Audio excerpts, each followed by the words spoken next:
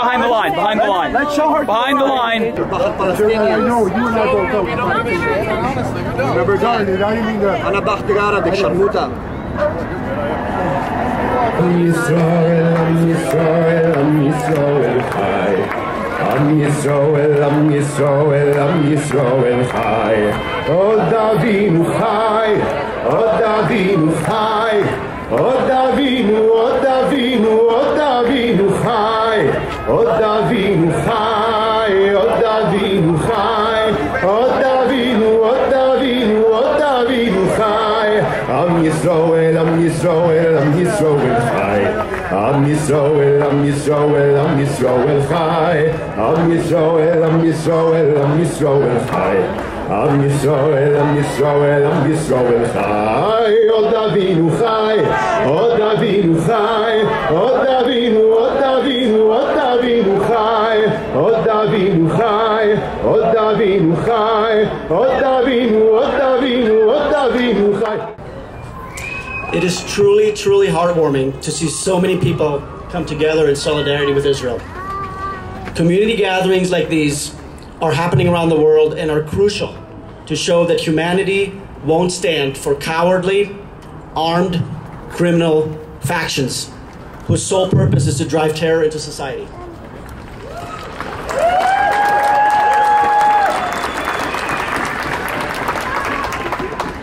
Golda Meir, Prime Minister of Israel during the 1973 Yom Kippur War, who lived right here in Colorado, famously said, We will only have peace with the Arabs when they love their children more than they hate us.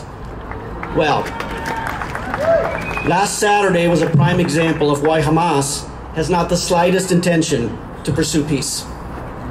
In fact, the massacre exposed to the world what Hamas's unequivocal mission really is. Hamas is not a governing body with the intent to improve the lives of its citizens and maintain public health and safety. No, quite the opposite.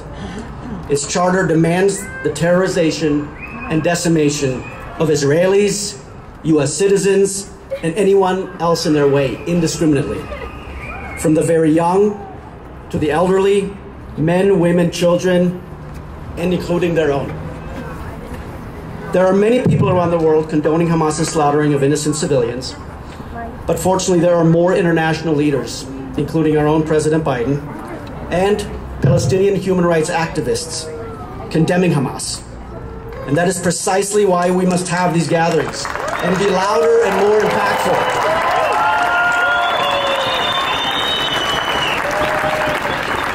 That Israel's planned response will be the targeting of murderers, rapists, and kidnappers, but never civilians.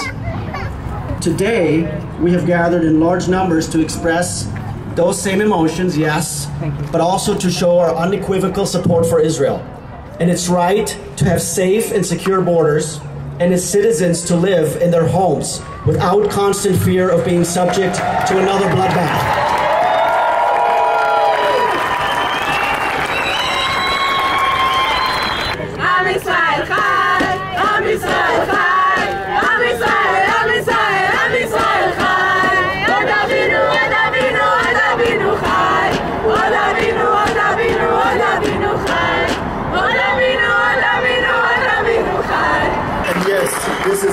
Exactly what this war is a war for our very existence.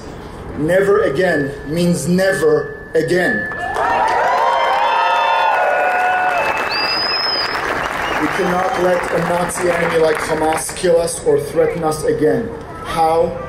We eradicate that threat. Send them where Nazis, ISIS, and barbarians belong. If that sounds rough to you, if that sounds too much to you, then you haven't fully grasped yet what is in front of us an existential threat. The Talmud says. Those in need in your town come first. Our children come first. Our people come first. Our country comes first. First, even at the expense of the others, the others that will surely and unfortunately suffer now after their subhuman leadership decided to drag them down to hell with them, while those cowards hide behind civilians and in their host countries like Qatar and Lebanon, We are responsible to our people first. Today we stand united. The outpour of support is heartwarming. But in order to eradicate the Nazi threat from Hamas on our borders, to completely and forever eradicate that threat, we will need time. Time, as you know, in this world, runs out very quickly. So I ask you, I beg you, stay united with Israel. Do not forget us. I beg you to remember my ask on this day. We will need you to stay with us, with Israel, not just now, but in the coming weeks and months. I feel sick.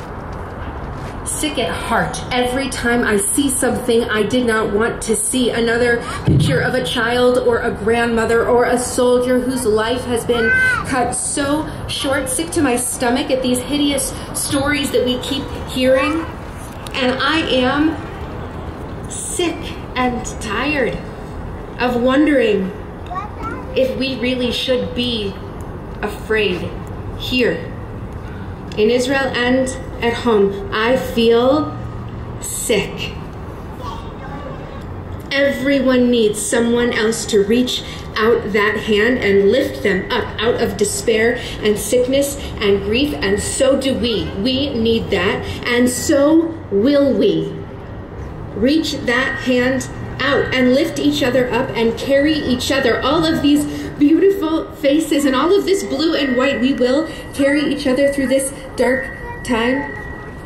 We're going to reach out and we are going to hold all of our Israeli friends and neighbors, those who are standing with us and sitting with us, and those who are an ocean away on the front lines, those who sleep in bomb shelters. We will reach out and care for and support those soldiers who are literally working to free actual captives right now. We will reach out and lift up our children as they navigate this, and we will reach out and lift up all innocent people who seek peace so that we can make peace. יישא גוי אל גוי חרב, לא ילמדו jamás lo hizo el Goel.